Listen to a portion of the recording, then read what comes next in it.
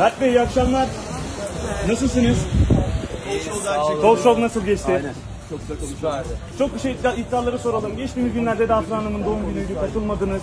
Aynı zamanda da e, Yalı Çapkın dizisi Altın Kelebek'le ödül aldı. Bunun için de öncelikle tebrik edelim sizi. Siz ona da katılmadınız. Hastaydınız biliyoruz. Beta virüsüne yakalanmışsınız. İyileşmişsiniz. Nasılsınız? Katılmamanızın sebebi nedir? Sağ ol. İşte hastaydım bildiğin gibi. Çok geçmiş olsun. Afra Hanım da zaten gerekli açıklamaları yapmıştı Mert Bey. Siz bununla ilgili neler söyleyeceksiniz? Ayrıntıla ilgili. Sonra bitirelim her şeyi. İhanet olduğu konuşuluyor. Çok kısa. Neler söylemek istersiniz Mert Bey? Teşekkürler. İyi akşamlar.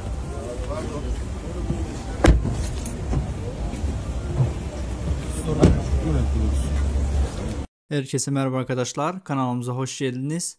Yalı Çapkın dizisinin yakışıklı oyuncusu Mert Ramazan Demir dışarıda muhabirlere yakalandı ve Mert Ramazan Demir'e muhabirler tarafından verilen soruların hiçbirine cevap vermediğini, Afra Saraçoğlu ile de ilişkilerinin bittiği sorusuna nasıl yüzünü çevirerek yoluna devam ettiğini sizler de gördünüz.